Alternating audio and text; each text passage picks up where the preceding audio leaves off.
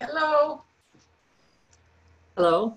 I'm leaving, I'm leaving a gap there because our, our videos haven't caught all the opening statements, so wanted to make sure it got to me.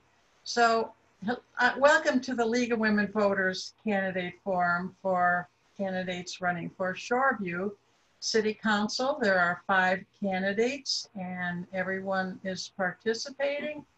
And you will elect two people. This forum is not open to the public and is not being live streamed. It is being recorded and we will post it on our YouTube channel, League of Women Voters, White Bear Lake area. In addition, local cable stations will replay this forum on a schedule determined by them. Candidates, if for some reason your internet connection is lost, please call back in using your phone. I'm Mary Santee. I live outside the district in White Bear Township, and I'll be moderating. League of Women Voters is a nonpartisan volunteer organization that encourages citizens to participate in their government. While the league studies and takes stands on issues, we do not support or oppose any candidate or any political party. The goal of our forums is to learn more about the positions of candidates who will be on the ballot November 3rd. So the candidates who are here are, um, in alphabetical order, Sue Denkinger. And tell me if I'm mispronouncing it, because it'll It was be perfect. whole- If you, do- if you don't correct me now, it'll be the whole thing wrong. No, perfect. Emy Johnson, Jillian McAdams, Dave Olson, Abraham Wolfe. All right? So you have one and a half minutes for opening statements and you'll go in alphabetical order, then we'll turn to questions. So why don't we just go ahead and start with Sue Denkinger. Okay. Hello, my name is Sue Denkinger and I'm running for reelection to the Shoreview City Council. I'm a 30-year resident of Shoreview uh, where I raised two adult, now adult daughters uh, who attended the Mounds View schools. I graduated from Augsburg University with a bachelor's in communications and later a master's in business administration.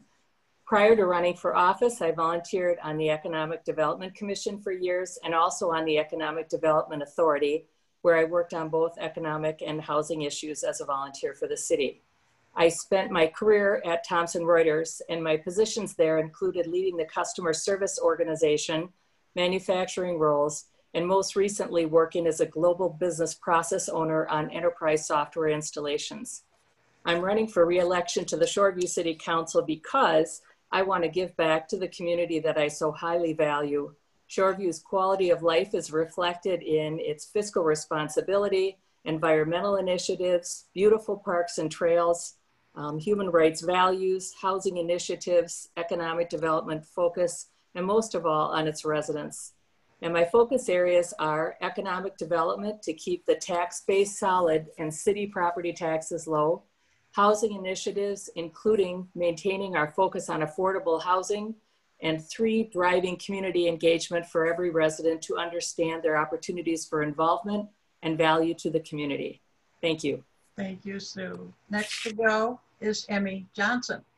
Good evening, fellow candidates and Shoreview residents. Thank you to the League of Women Voters, White Bear Lake area for hosting tonight's forum. I'm honored to be with you to highlight my continued interest in serving the residents of Shoreview for another term uh, as a member of the City Council. Throughout my previous eight years serving Shoreview, it has become clear to me that we are a community comprised of dedicated and engaged citizens, each of us doing our part to make Shoreview what it is today and for generations to come. It's been a great privilege to work alongside the mayor and my fellow council members as we continue leadership decisions and serve the public interest for the common good. Maintaining a balanced budget, increasing the diversity of our housing stock, and attracting and maintaining the businesses that make our communities strong are just some of the ongoing efforts we focus on in Shoreview. During my tenure, in addition to serving as a council member, I've also had the pleasure of supporting the city by leading the Shoreview Economic Development Authority, providing leadership on the Lake Johanna Fire Department Board, the Lake Johanna Relief Association, and lastly, by being an active leader for our youth and generations of families through Northeast Youth and Family Services, along with the community, Shoreview Community Foundation. My belief is that those who represent their communities have an obligation to make hands-on change through community organizations. While the challenges our community is facing are ever changing, my core values have remained and will continue to be steadfast.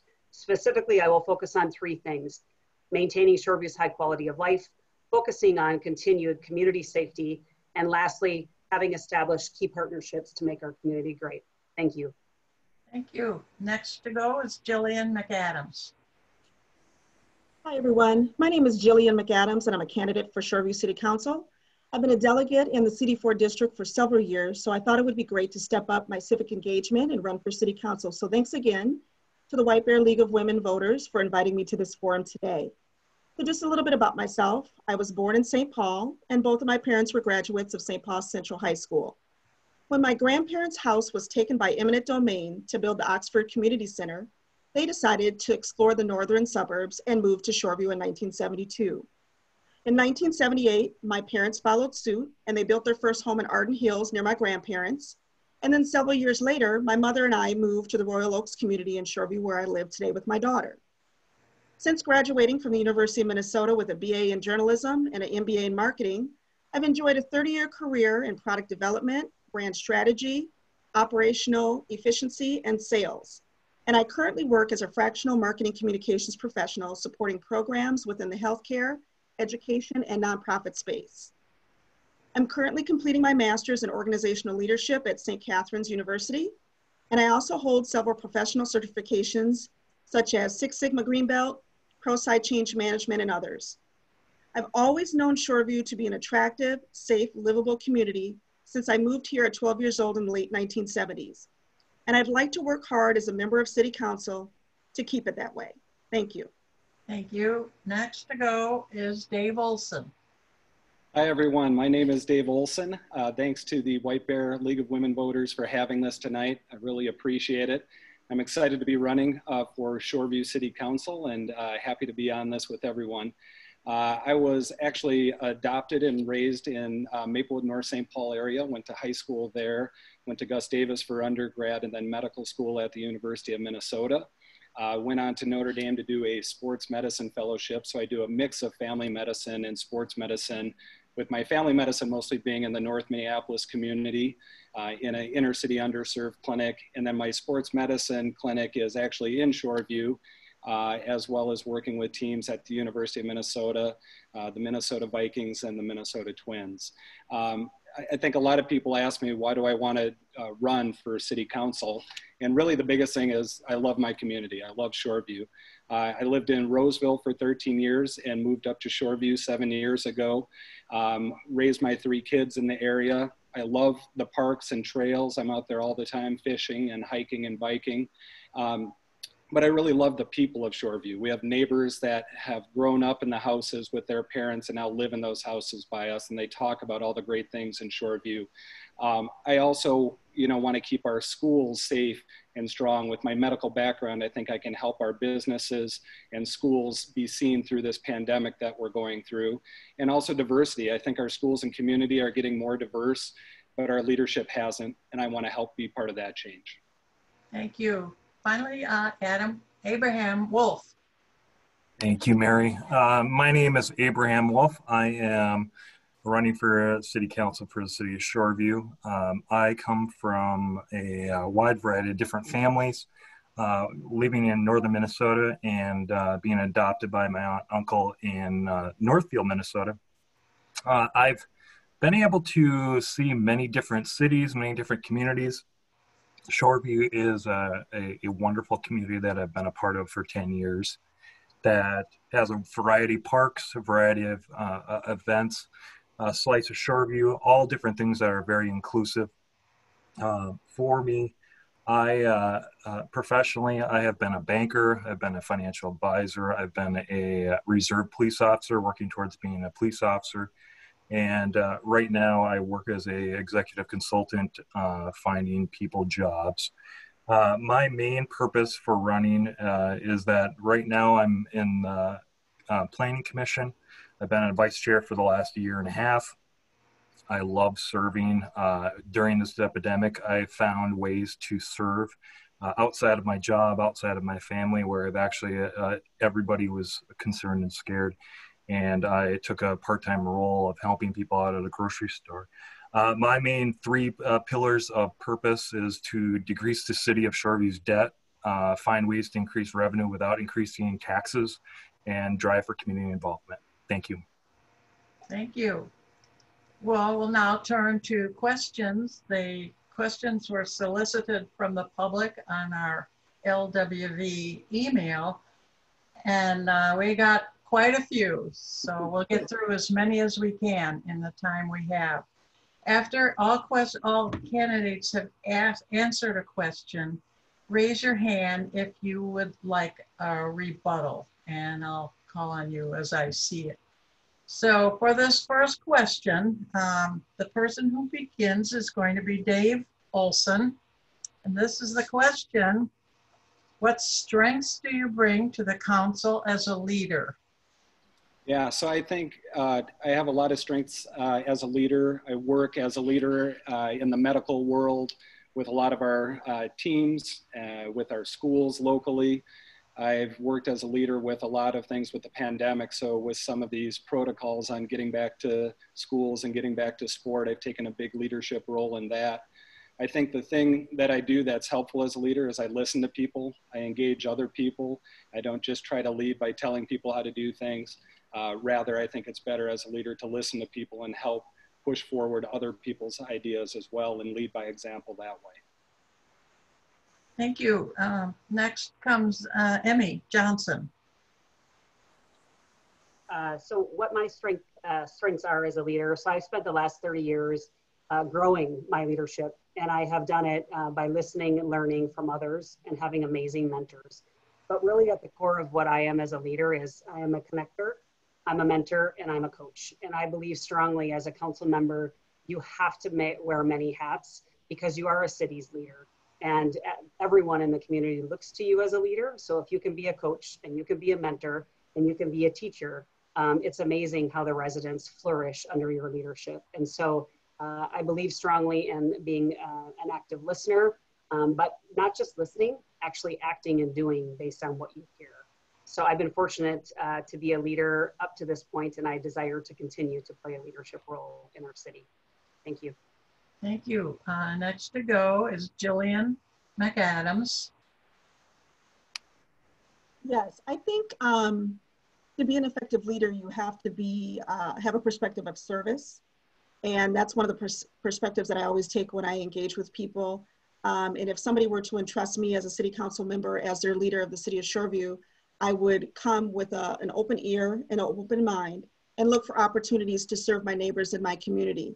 I think part of that is getting out there and being uh, part of community engagement, finding um, those nuggets and gems of folks that have been here like myself for 30 or 40 years in the community and, and learning from them, but also engaging more of the youth and bringing them along and giving them a vision for the city that we live in and allowing them to show their leadership skills too, because I think there's a leader in all of us. That's one of the things I would like to do um, as a leader at City Council is, is to create a, um, um, more transparency and more opportunities for community engagement so I can lead people into um, feeling like more of a part of the community.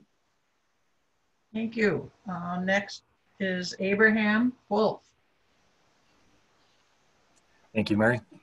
Uh, leadership for me, um, uh, as we all grow and, and develop, we all learn differently, of course. Uh, for me, uh, leadership has been how to listen and be that person that is there when people need to talk. And when individuals, such as my example uh, with the Planning Commission, I, my main purpose is to put myself in their situation, their spot, find out how that affects their community, their involvement, uh, all of the above and that's the main purpose of uh, how i look at leadership i don't want to be the know-it-all and answer all the questions without actually uh, putting myself in their, their shoes uh, for example uh, right now I, I find people roles for for jobs, and whether it's an executive, high level executive for a Fortune 100 company, or a maintenance person for a smaller company. Each person you listen to and you take in and find out what the value is, and be able to help mold, coach, and mentor that person. Thank you. Thank you. And Sue De- Denkinger, finally. Okay. Yes. Um, I think my leadership strengths are collaboration. I, uh, Amy mentioned this, and I really enjoy too connecting people that need something with people that can provide it, and also taking a group of people and sometimes in what seems like an impossible task and getting a common goal and seeing how we can use everybody's talents and abilities towards that to achieving that goal. And I just find that really exciting. Um, another element that I heard was uh, I also believe in what's called servant leadership. And I think Jillian mentioned that um, as well. And I do believe as a leader, if you've got that ability and you've got the drive to do it, the passion, there's an obligation in that. I, I think if you're going to put yourself in the leadership role to, to try and serve others. And the other piece that I did want to mention was um, I try to listen and I try to be fair and keep a balance between the common good or the and individual needs as well. And sometimes that involves being direct and honest and, and saying, you know, you may not be able to achieve what you want, but let me tell you how you can best try or how I can support you. But sometimes it's delivering hard news or that residents don't want to hear, uh, but it's being fair and honest enough to listen to them, to do what you can, and to be direct if you can't do what they'd like. Thanks. Thank you. So you probably don't have rebuttals on this kind of question, but if you have anything to add, we can give you each 30 seconds more. David Olson? Yeah, so I just wanted to add a, a big part of leadership for me. I actually, the reason why I'm here uh, running for city council is I had a group of leaders from Mounds View and Irondale, Irondale schools that are youth in the area that really pushed me. We got together and we're talking about things in the community, a lot of the tough things that are going on in our city and our country. And they basically told me, hey, if you're a leader, why don't you go and, and try to do something for our city? And I challenged them back and said, I'm willing to do that, but I want you to be my campaign managers. And hopefully, if I uh, get elected, come on in and, and be on committees and be active leaders as well. So I think the youth in our area are huge and we have a great Thank you. Thank you. Emy Johnson. One other element about leadership that I think is critical is uh, the word continuity. And I think as we look at the city of Shoreview, we have had a long history of continuity. The mayor's been in role for over 22 years and has been a servant uh, to us as, as residents. And I've been in the city for 23 years and raised my family as well. I think the continuity plays a key role in establishing um, a, a community where people want to live work and raise their family. And so continuity to me feels like another element of leadership success. Anything further?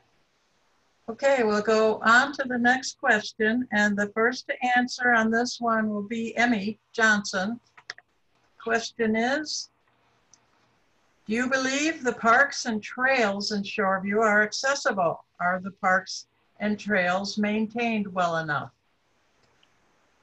Well, uh, we happen to have 88 miles full of trails in the city of Shoreview. And I have to tell you, I haven't been on all 88, but we do have amazing trails.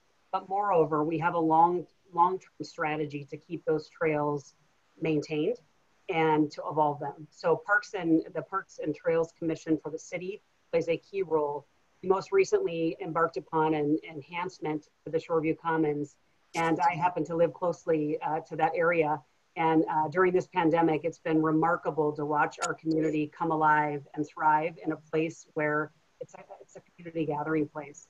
But our parks are used, unlike some cities, and we have a long-term strategy to continue to maintain um, the safety of those parks uh, as, as they're used. And then I would also just add, um, it's imperative that we work closely with Ramsey County because the Ramsey County park systems reside within the city of Shoreview, right. Snail Lake Park, Turtle Lake, etc. And so uh, we can't go out alone. And it speaks to having great partners um, and great members of the community that want to live a healthy life by using our parks and trails. Thank you. Next to go is Sue Denkin Denkinger. Okay.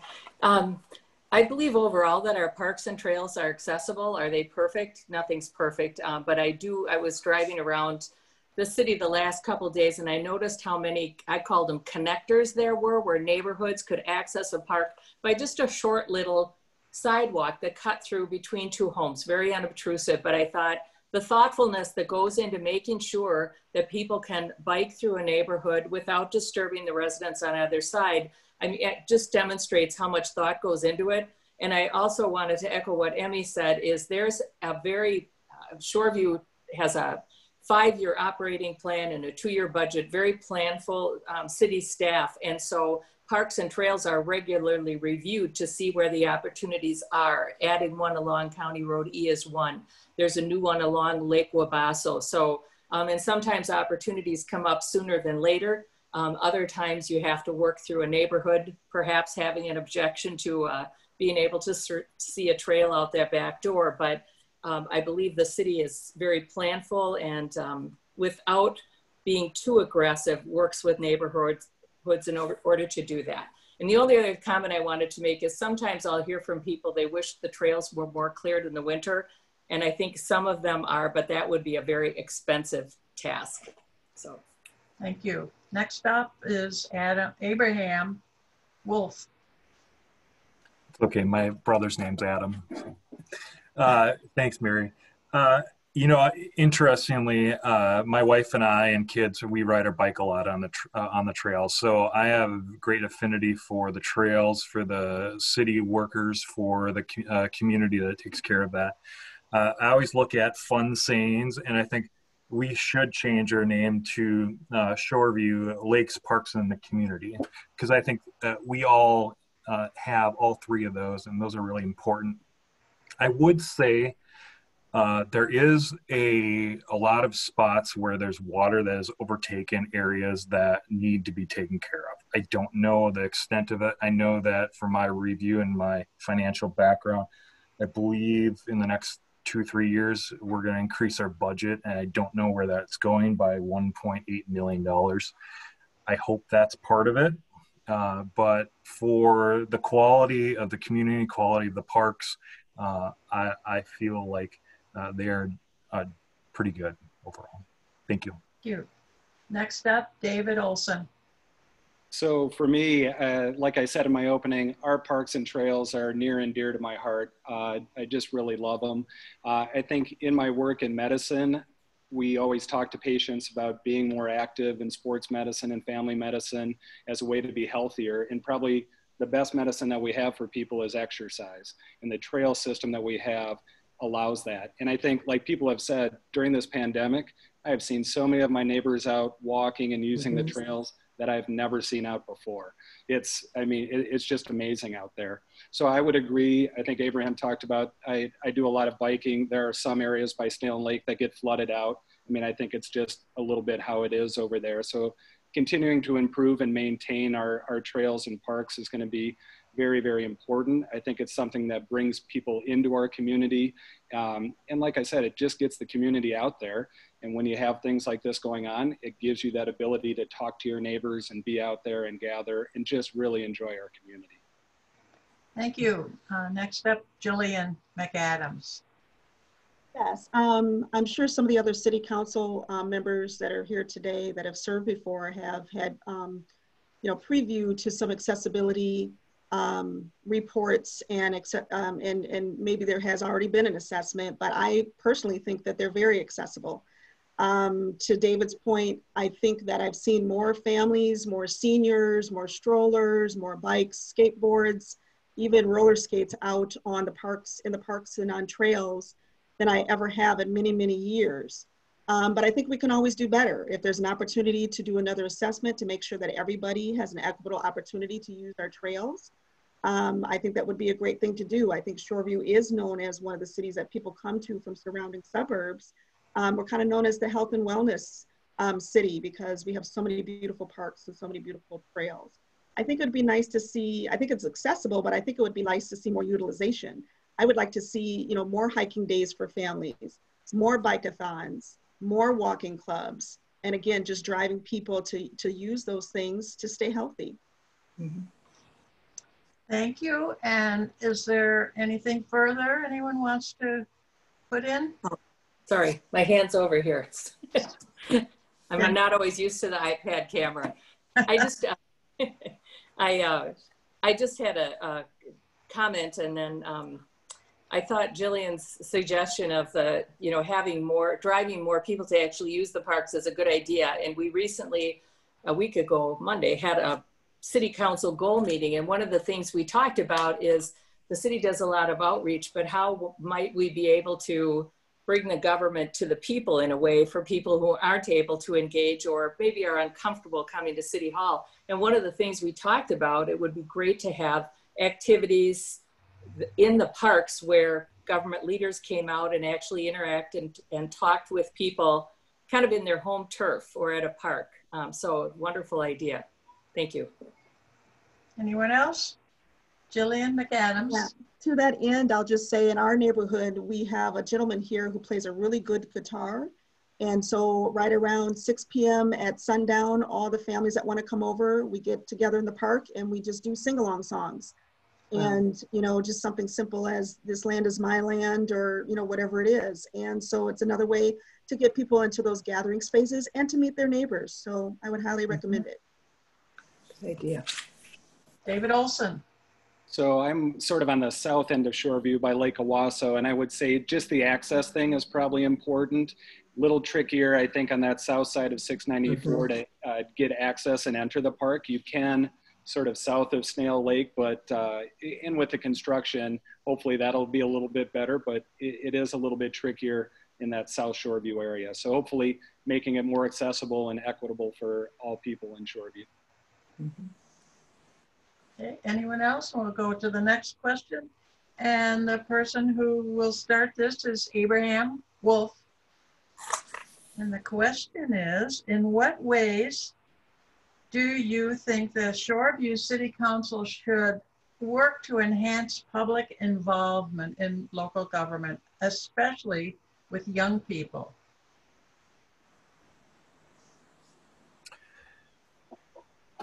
Thank you, Mary. Uh, I would say uh, I know the city uh, city council does a really good job for uh, bringing in uh, individuals. I believe there's a uh, a young um, high school uh, age group that comes in. I believe, if I'm not mistaken.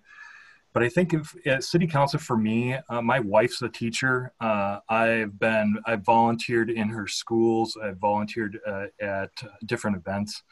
I think if the city council and if I was uh, given that opportunity and blessed with the uh, potential opportunity to be a, a, city council member, I would jump in with that and, and volunteer and be a part of, say, government opportunities, whether government classes and have them come to city council and invite them. I think the biggest thing is we need to be uh, asking uh, for them to come in. We can't just uh, expect them to come in. Thank you. Thank you. Next up is David Olson. So I, I, again, I talked about this a little bit already, but the youth piece for me is is vital. Uh, it's really, you know, why I'm here. I've got this great group of uh, of youth from the area, young adults that are sparked and, and ready to get involved with things in Shoreview and make things, you know, better in their community. So the biggest thing for me is finding ways that they can get involved. So encouraging them to go to meetings or, or be on the Zooms, um, figure out ways that they can be active within committees. And I think that for a lot of us, it's just, you know, creating those opportunities for the youth. So finding ways that we can encourage people and maybe not just get the ones that we know want to come out and do this, but expose other uh, youth in the area to, to possibilities and maybe even careers that they've never even thought of. Thank you. Next to answer, Sue Denkinger. Um, I, something that David just said sparked a, an idea I had. One of the things that that I think would be very helpful would be to engage youth and even looking at what government positions there are because I, I, do know from working on city council that there have been many discussions about increasing the diversity even of city staff but there's a difficulty in recruiting um, and and maybe interest level or awareness of those positions so i think it would be a great opportunity to bring youth in. And I actually have also thought we have a Citizens Academy every two years where 20 citizens come in and they actually work with every aspect of city government to see how things work. Um, and then it's enlightened them enough that they know how to work within local government effectively to not get frustrated, but to actually be able to do that. And sometimes they move on commissions. I actually think we should do the same thing with youth and have it be a youth citizens academy group that introduces them to what it's like, what roles are out there, and you could expand it again to the opportunities to look what kind of jobs there are in government, because there are a lot of different kinds of jobs. So those are some ideas that I have, and maybe some virtual Zoom type meetings with students so that they can participate at home and don't have to come into City Hall. Thanks. Thank you. Uh, and the next to answer is Emy Johnson. So uh, currently, uh, I feel like we have, as, as, a community, opened up the door for young adults to get involved. We were one of the first cities in the Twin Cities to pass the tobacco law, and that was brought forth by students onto a school district. Um, the Human Rights Poster Contest, once a year, there's a poster contest in the city of Shoreview, and it is the only time in the entire year that the council chambers is completely filled with youth. And so I feel like we have platforms available, um, but we can always enhance it and make it better. And I, I would just offer up that we are co-located on our campus with the city of Shoreview, with the Mounds View Public Schools and um, the library. And that affords youth the opportunity to be a part of all, um, all that we can offer them in terms of services. But at the end of the day, junior achievement is an area where kids learn how to get involved and many of the council members that are currently in position uh, volunteer along with the mayor to go out into the schools and teach junior achievement. So it gives them a level of introduction into what civic uh, duties are available as they age. Thank you. Okay, Jillian McAdams. Yeah, to piggyback on what somebody else said, I think it was Sue. I think it's really important for us to better communicate the um, Citizens Leadership Academy not only for the adults, because um, I just learned about it about six months ago, okay. um, but also for the youth. I mean, really creating a, a Youth Citizens Leadership Academy would be great. I became a delegate in the area almost as a civics lesson for my daughter. I just felt they weren't covering it enough in her school. And so she challenged me to step up and become a delegate and become a part of the caucuses. And I think there's an opportunity for us to work with that group too and to get more youth involved and more engaged. In addition to that, I run a Girl Scout troop in the area, and we had a chance to go into chambers and meet with Sandy Martin, Mayor Sandy Martin. And she expressed to the young ladies there, you know, to, to step up and find their voice and how easy it is to serve as well. And we should be reaching out to more Girl Scout troops, Boy Scout troops, you know, whatever other organizations there, there are. I think there's an opportunity there as well. I know YP government um, is embedded over at Mounds View Community Center where my daughter takes Taekwondo. I'd love to see that get embedded in the Shoreview Community Center as well. And then also there's a huge draw when we um, sponsor robotics competitions in the area at the schools. Mm-hmm. It would be great if we could hold some um, mock courts and get the kids involved in mock court um, government in uh, our community center or at the library as well. Thank you. Uh, anything further to add, anyone? Yep, well, here's my hand. Wrong yes.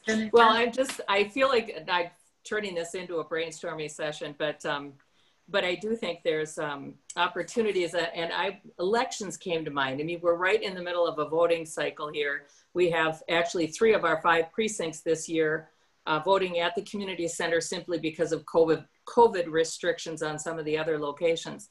But what a great opportunity we have to even hold some kind of a seminar class on what the voting mechanics look like, particularly in light of all the noise around mail-in ballots and, and that type of thing. It, I think it's essential that our kids learn this stuff um, intimately, for lack of a better term, um, particularly ha after having heard all the noise around voting and election fraud, et cetera, to see how it really does work. Thank you. Anything further from anyone? David Olson.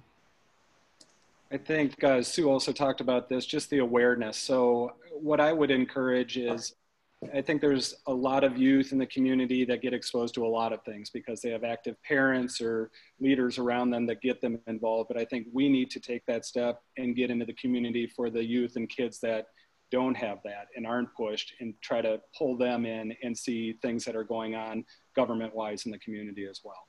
So I think taking that extra step and that extra effort is something that's really on us. Mm-hmm. Agree. Any other? Okay, we'll go to the next question. And uh, Jillian McAdams will begin. Do you see a need for additional low or middle income housing in Shoreview? If so, how would you address that need? Well, I think um, we do have a need. We currently have um, low income housing, and I know that the council has been progressively increasing um, the accessibility to housing for everyone in our in our community. Um, and I think going forward, we need to continue to do that. You know, we want to represent Shoreview as an opportunity for young families to come here and get their children educated and to feel like they have the support systems around them, you know, for housing, for food, um, you know, for um, behavioral health issues, whatever it may be.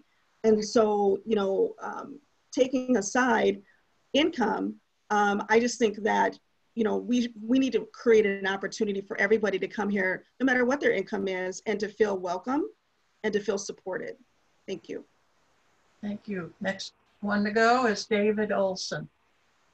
So I would agree. Um, this is a very, very important thing, and we need to make sure that people do feel welcome. Uh, people from all socioeconomic backgrounds need to feel welcome in Shoreview. We've talked about some of the great assets of Shoreview, the parks, the trails, the schools, that should be readily available for, for all people. And I do, I commend the, the council and our mayor for doing a, a good job with this. And I think it's something that we just need to continue to strive at. Um, I think one important thing with housing and affordable housing is going to be transportation for those people too. Right. So the housing is great, but if you can't get to jobs and things like that, then it doesn't it's not really feasible. So we need to make sure that our transportation is set for people to get to those jobs where they can still enjoy everything Shoreview has to offer, but go where they need to for uh, work and things like that as well. Um, the other thing I would say is, uh, you know, diversifying what we have for that affordable housing, not having it all in one area of Shoreview, but spreading it out so people can enjoy the, all the different awesome areas that we have in our community. Thank you. Next up is Emy Johnson. Over the last uh, 24 months, we've increased um, apartments slash condos by a thousand, over a thousand. And each one of those developments uh, required the developer to come forth to the Economic Development Authority and then into the Planning Commission and then the Council. But at the end of the day, they were required to increase their affordable housing percentage in order to allow the development to happen. And I really believe that that is what has helped us increase that housing stock for affordability. Um, at the same point in time, we can't stop there. There's a lot more work that will need to be done as we um, have developers come forth. The other piece of our housing stock um, that is, is, is a challenge, and we know that, um, is our aging housing. So when we think about families who need a home for a family, what does that housing stock look like outside of um, into a single dwelling? And so I think as we continue to look for opportunities, we recently purchased a, a parcel on County Road E to allow for a family to move in and, and uh, afford them opportunity. And then I would agree with David, housing comes with transportation. We do not have affordable housing. It's very difficult for those residents to get to their job um, at, at, along with taking care of their children. Thank you. And Sue Denkinger. Um, so I do believe that there's a need for more low to middle income housing. Uh, we have worked hard and sometimes struggle to increase in a measurable way the affordable housing. We've uh, quite a few of these units that Emy talked about are at market rate and market rate is, is not affordable for uh, low income families. But I think it's a critical opportunity for families with children because I believe that if you are placed in a strong school system um, where you can achieve and where it's expected that you'll achieve, you will achieve uh, for the most part. And so I think because our schools are of such high quality, it's critical for this community to work towards it. The challenge gets to be, of course, uh, we have a developer that's actually working on some affordable townhomes that will be built within the next year or so. Um, but keeping that at a manageable cost is very difficult, even when you get a discount on the property. Uh, but we're taking every opportunity that we can to do that. So, and I think Dave's point about transportation is well taken. Interestingly enough, Shoreview bus ridership is is not that great. However, you always wonder, can people get to the bus? Is it going to the right place? So a regional approach, I think, is needed, is critical for transportation, public access to Shoreview and surrounding communities. Thank you. Abraham Wolfe. Thank you, Mary. Uh, being a part of the Planning Commission, it, it really gives us a um, straightforward view of uh, affordable housing. We had a good example where we were talking with a potential uh, prospective uh, uh, developer that was going to renovate a building. And he stated, he's like, we need to be a balance because we do not want to be known as a community that that doesn't work well with developers when it comes down to uh, affordable uh, housing and middle uh, middle um, income housing. So I'm always looking at what's the balance? How do we work with what we need, our goals, and what does our community say right now? Yes, definitely affordable housing, and I'm always looking, and as a group, uh, the uh, Planning Commission is always looking at how do we uh, not lose, but we consistently uh, be proactive and help uh, work with the community, work with the city council to gain more. Uh, but I think the busing is a big factor, as a lot of our, our a lot of our candidates and have stated here that busing is a big factor when it comes down to affordable transit and living in the community. Thank you. Thank you. Anything to add from anyone? Jillian McAdams. So I would also add that, you know, we are talking about um, the, you know, transportation supports or lack thereof, and it's, it's always been an issue, low, you know, low ridership in our area. But again, I would challenge back, you know, why are we forcing these people to leave our community to go find good paying jobs? I think there's an opportunity to actually create and challenge some of the partnerships with some of the, the larger organizations in town um, whether it's you know Land O'Lakes or Cummins or Boston Scientific, and let them put some skin in the game too, and challenge them, you know, to um, hire more people in our local community, and to come out into our community as volunteers and see what we have to offer. And so I think there's an opportunity there too that can lend itself to taking away this this problem with um, you know ridership. Mm -hmm. Anything further? Okay, we'll go on to the next question. The first to answer it, it will be um, Sue Denkinger. Okay. And that question is, how can you support business in Shoreview? Uh, just generally speaking? That was the question. We All right, okay, so sure. Interpret it as you will. Okay, um, I think in the short term, uh, we've got businesses that are really struggling during the pandemic, as in any community.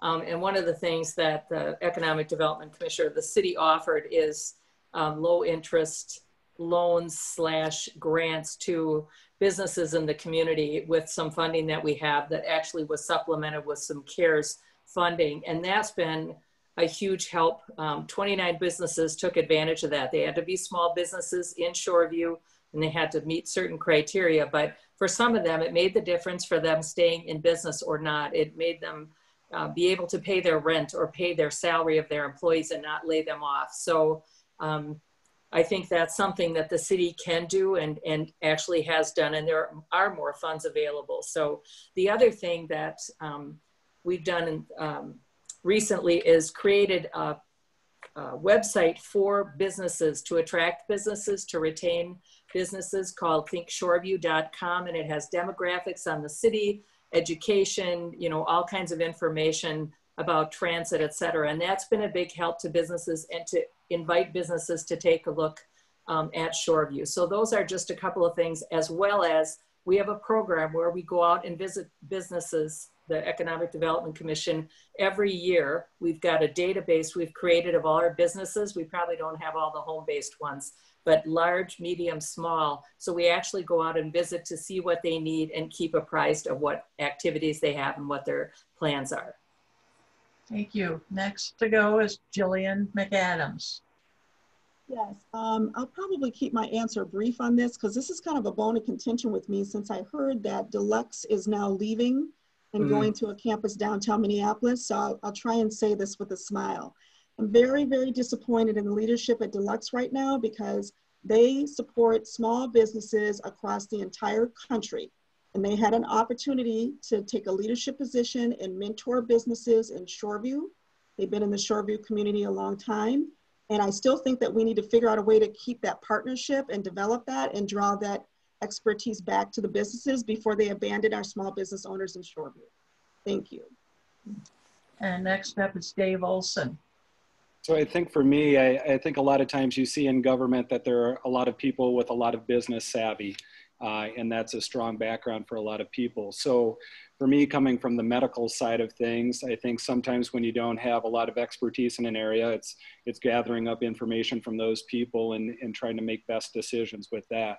I think the unique thing that I can bring to the table as far as businesses in Shoreview is, you know, with the pandemic and everything, uh, a medical person within the city council could be very helpful as we continue to work through this. Unfortunately, it's probably not going to be weeks and months to get out of the pandemic, but could be months to years to get out of the pandemic. So I think having someone that's um, been involved with working with businesses and, and groups and hospitals and uh, leagues to work through the pandemic and really work for safety um, will help our businesses continue to thrive um, during these tough economic times. Thank you. Thank you. Next to go is um, Abraham Wolfe. Thank you. Um, when I think about how I can support businesses, uh, my number one thought is, and the simple one, go out and use those businesses. That's the number one thing that I, I, I think straight out. And I try and do that uh, as a family, as a group, but then you start looking at a, a larger side. And uh, for me, I have some individuals that are in leadership roles within the community, uh, within businesses.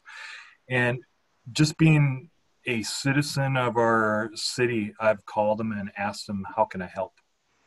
And that's, uh, that's as easy as it gets. And I think that's what us as leaders within the community can do is reach out. They may not be reaching out for help. And if we ask them, how can the city help? How can uh, we as planning commission or city council help and listen and find out if there's a spot where we can uh, we can help and plug and play and help out.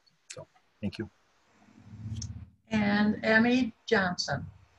So businesses are critical to our community. Um, and I think there's two words I would use for this question. It's about attracting, but also retaining. Uh, I think it's one thing to have the business here, um, but if no one's going to the business and no one's spending money at the business, we aren't going to retain them. So we launched Think Shoreview this year, and that website has been hit certainly by our small businesses, hit in terms of utilization. But it's u- being utilized because small businesses don't have the resources to have a social media team, to have a marketing team, to have an HR team. And so the city, um, in conjunction with the council, um, has offered opportunities for small businesses to use those resources. And so I think, again, it's about attracting them and retaining them. And then I also think it's just about um, this idea and notion that we are all in this together with businesses. Um, we have businesses that have been here for decades. Uh, why are they here and what keeps them here? And so keeping that open loop and ensuring that we're providing solutions to them uh, to allow for them to continue to be a business of choice in the city of Shoreview. Thank you. Anyone have more to add? If not, we'll go to the next question. The first to answer will be Abraham Wolfe. Where do you where do you prioritize actions the council could be taking on climate change?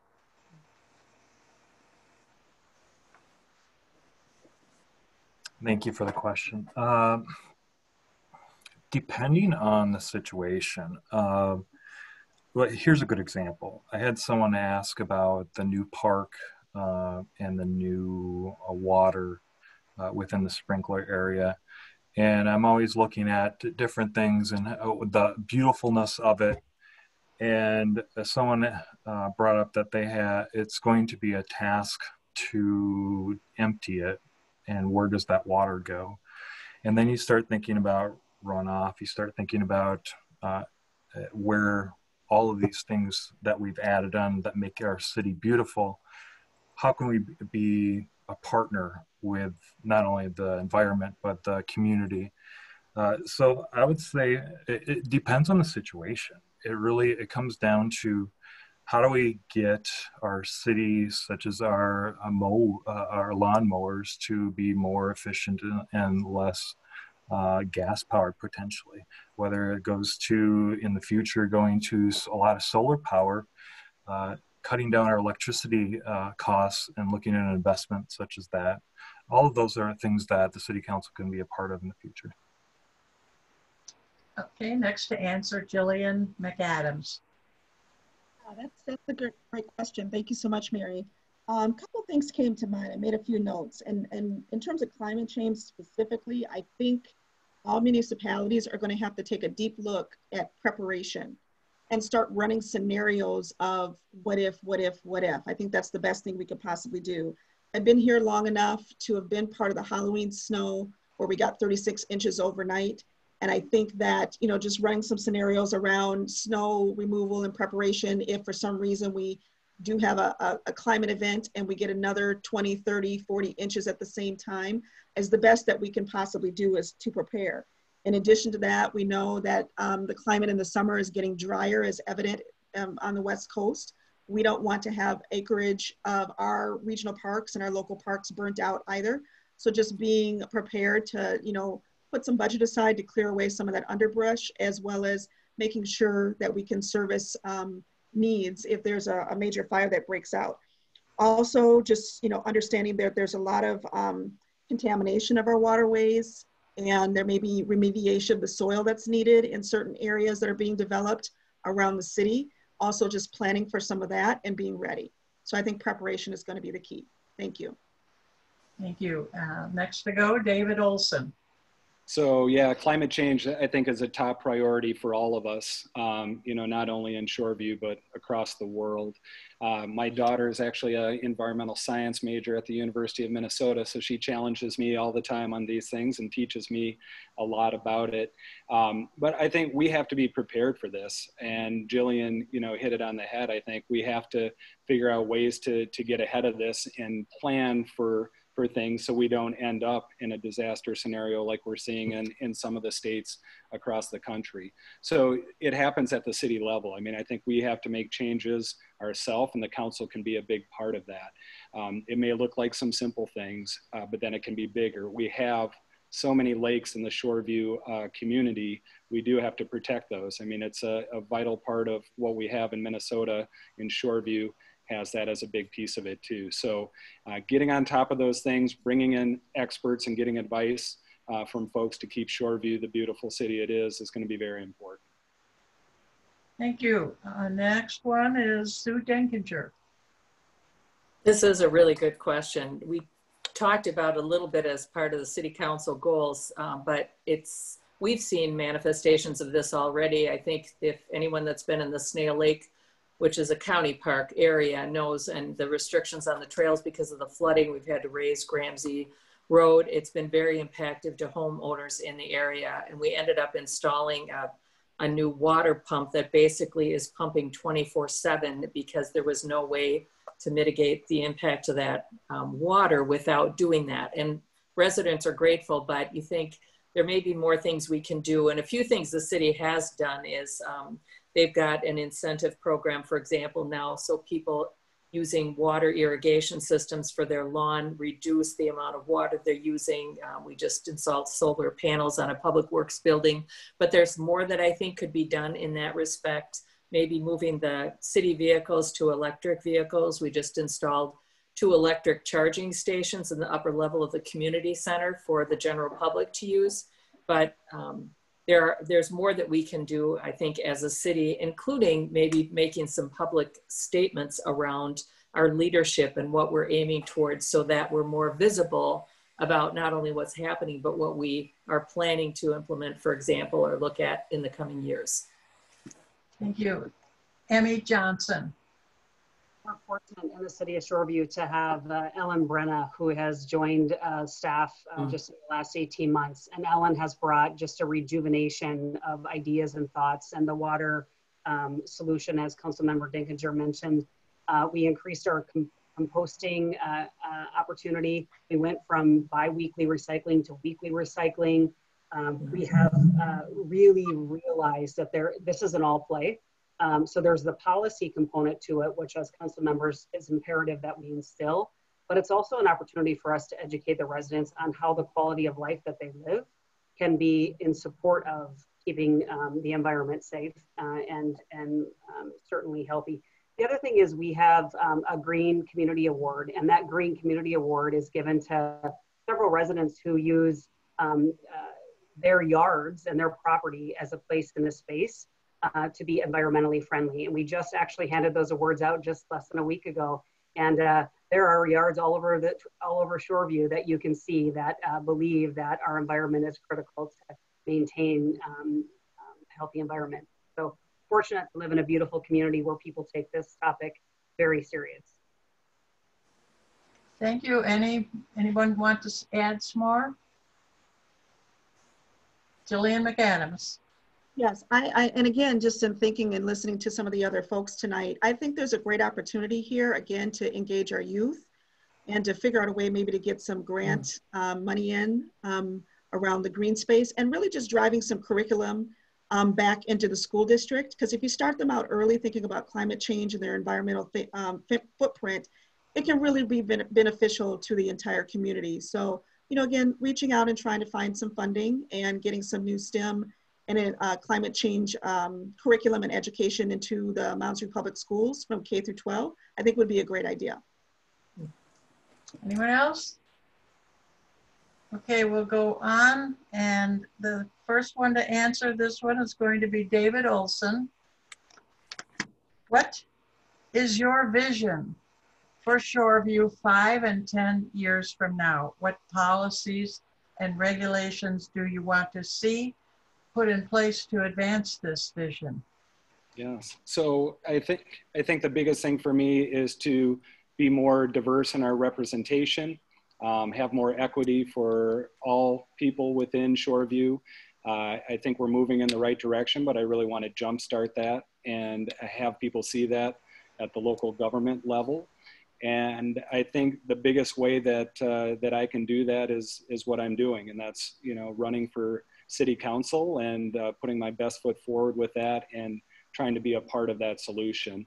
I think along with that and doing that, it's it's maintaining and improving a lot of stuff that we've talked about tonight, whether it's the economic and business side of things, or if it is the climate change and the, the great parks and trails that we have within Shoreview. But my biggest focus is to show the youth in the area that you know we are a diverse community uh, and we're becoming more diverse in a lot of different ways, and we need to have that at the local government level. Thank you. Next up is Emy Johnson. My vision uh, for Shoreview in the next five to 10 years is to continue to make Shoreview a place where people want to live and raise their family, I'm inspired by the people that come back home to raise their family because they grew up here. So that tells me that uh, we have something that's working. Um, as I look at the policies that are in place uh, in our community, I know that they're going to need to continue to be enhanced as our inclusivity needs to, to change. Um, as I look today at the community center and the community center expansion, and I think about the policies that were in place by those that were in leadership roles decades ago, uh, which got us to here, I want to be one of the leaders that gets us to there. So we think about that uh, community center for all, and we think about Shoreview for all. And it starts with leaders who are taking their role very seriously and thinking about it um, not just in, for for personal gain, but for the betterment of the community and the residents which we serve. Thank you. Next to answers, Jillian McAdams. My vision for Shoreview is pretty simple. Again, it'd be great if we could um, maintain the quality of life that we've established over the decades for families in our community and make everyone just feel welcome here. Some of us do experience issues when we go shopping or go to restaurants where we feel like we are not welcome by business owners or by, by other patrons. And I think that's something that um, even at the city government level, we can be communicating the, the, um, the culture and the values that we have as Shoreview residents for anybody that lives here, works here, comes to visit here. In addition to that, I just think that it's great to have a more diverse um, selection of voices at the table, um, more people of color, more women, more youth, more seniors um, for the things that we're tackling here in the, at the city level. And again, going back to the safety issue, um, the unrest that we've seen in St. Paul and Minneapolis has been impacting Shoreview. A lot of the people that have been tied to some of the unrest and the riots are transversing through our community from Anoka, Andover, and other places to start bad trouble in the um, urban areas in St. Paul and Minneapolis. And I think as a city council, we need to be more conscious of that and make sure that people feel safe. Mothers like me and other folks, seniors, feel safe to shop in our own neighborhoods and our own stores and to, to, to play and work in our own neighborhoods. Thank you. Uh, Abraham Wolfe. Thank you, Mary. Um, I'm a little aggressive in my thought process. Um, I think um, kind of going through my pillars of thought, uh, p- pillars of uh, if I was part of the um, city council, drive for debt free for the city. I think that's a big factor when it comes down to, and it's a it's a it's a stretch, but it's a it's a stretch goal that I think. Imagine if the city didn't have any debt imagine if that we could do with what we have and what we could do with the community what we could do with all of the different things if we didn't have some of the debt. Now i know some of that's structurally and some of it's city part and a lot of different things but i think that's something that's definitely possible. Uh, business big factor. If Deluxe uh, does go and there's a business campus we need to drive that. We need to run with that with that business uh, business that is going to develop that area and bring those businesses in. Uh, increase revenue for the city without increasing taxes is a main a main thing. We have a lot of different ideas. We've got so many smart, intelligent people that can find different ways that we can do that without increasing taxes. And then, uh, as a lot of our panel here said, inclusive.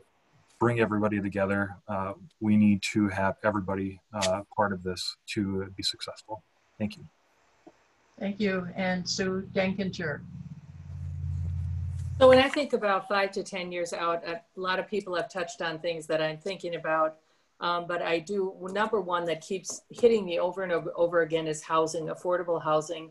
It's for families. Um, it's for young professionals. Um, you know, it's kind of sad when you have a teacher, someone graduate, a professional graduate from college and can't afford to live here. It took, I had to move somewhere before I moved here when I bought a house here, and that was a long time ago uh, because I wanted to live here. But I would like to see more affordable housing and where it's a requirement rather than an ask with developers. And I understand that's a fine balance, but I know some communities like Edina have done that. So I would like to see that. I think uh, better transportation managed or uh, levied or lobbied for at a regional level. So we're working with other surrounding communities. So it's not like just can I get a back and forth to my job in Shoreview or Shoreview to St. Paul? It's can I get to my job in Mounds View if I live in Roseville and and that type of thing. So that to me is also very critical.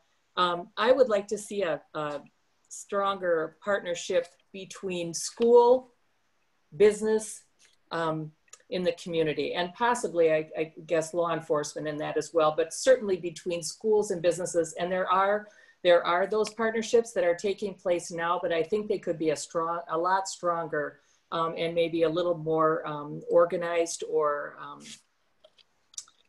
polished because I think we have a, you know this great school system and some kids may not pursue college but there are a lot of manufacturing jobs in this city and sometimes they can't find people to fill those. So those are just a couple things but I'm to stop now.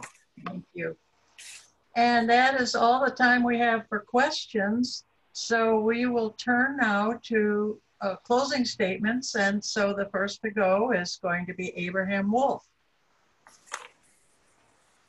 Thank you, Mary. Thank you uh, uh, uh, for the opportunity to be a part of this uh, group of uh, very distinguished individuals and, and candidates and current members of the City Council. I am running for the opportunity to walk with the community, walk with our citizens of Shoreview to be that person that listens and is there when individuals need someone to talk through a process or a business needs support, uh, or in general, just listen uh, when someone's in front of the city council and uh, be available. I think with the my pillars and uh, the goals that I have, yes, they're steep, yes, they're aggressive, uh, but in the, these times, uh, having less debt having more revenue without tax increases and uh, having more of us working together versus uh, versus the opposite. I think Shoreview is one of the best cities, in not if not the state, the country, and I think uh, being a part of that, uh, the city council, be a great uh, great pleasure and, and a great blessing. Thank you. David Olson. Well, first, I'd like to thank you, Mary, and League of Women Voters for having this tonight. This has been awesome. It's uh, great to meet the other candidates and, and hear all the awesome ideas that people have too. It's really, it's been fun tonight.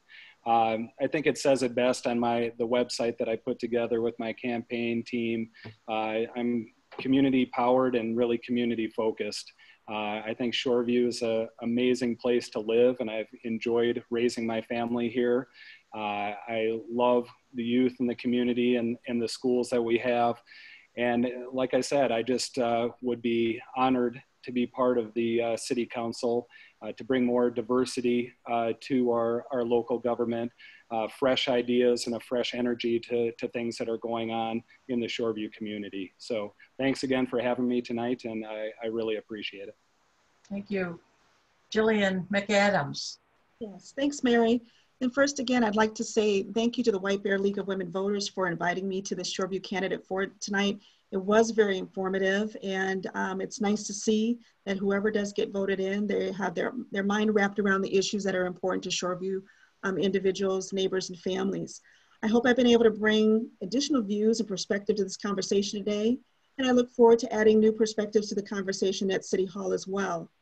Even though this is my first run at City Council seat, Given my personal professional journey to date, I believe I can bring many transferable skills, including strategic planning, process and change management control, and some cultural competency and more in community engagement ideas to the City Council chambers. I have unique perspectives to offer as a long-term African-American Shoreview resident, and my goal is to turn Shoreview into one of the safest, most livable, most equitable, equitable cities in the state, and I would appreciate your vote. My family has been part of this community for four generations and we're proud of it. And I'd like to be a part of the conversation to make Shoreview an inclusive, safe, and fun place for everyone to live for, for many more generations to come. Thank you so much. Thank you. Emy Johnson. Thank you to the League and uh, fellow candidates for a chance to visit with you this evening. Uh, it's been uh, certainly enjoyable during these challenging times in our country, uh, it's more critical than ever that the leaders that we elect to govern are solid um, and they have solid ethics, a high moral compass, and are strong, committed leaders. Um, you have my commitment that I will be that leader who will continue to serve you with the highest of morals, ethics, and an unwavering commitment. As this election season requires all of us to get involved, I want to invite you, you all, and those that will view this uh, to reach out to your family and your friends and your neighbors and encourage them to get out and vote. And I want to reaffirm my commitment to the residents of the city of Shoreview, and I ask for your vote as you cast your ballot in the election of 2020. Thank you. And Sue Denkinger. Okay.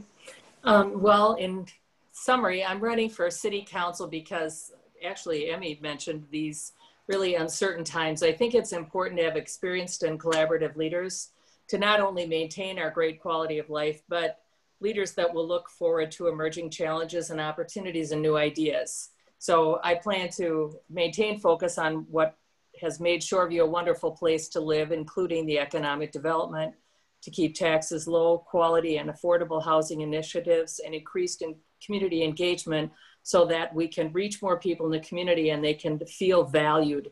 I bring to the table experience as a business leader, a civic volunteer for the city, a working mom, a council member, and as someone who works to balance community needs with individual needs, which is sometimes a very challenging thing to do.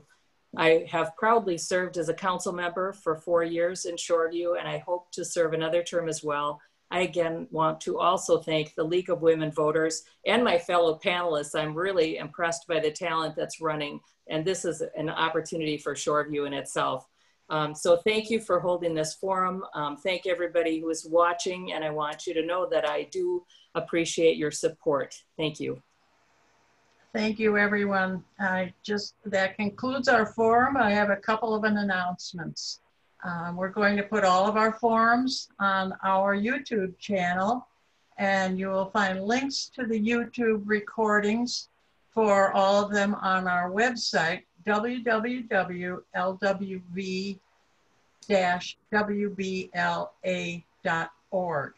Um, you can request an absentee ballot right now on the Secretary of State's website at minvotes.org. If you need to register or update your registration, you can also do that online when you go to vote.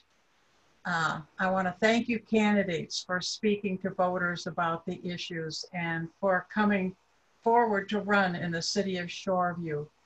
Thanks to our volunteers and to you, the viewers, for watching and your interest in becoming informed voters.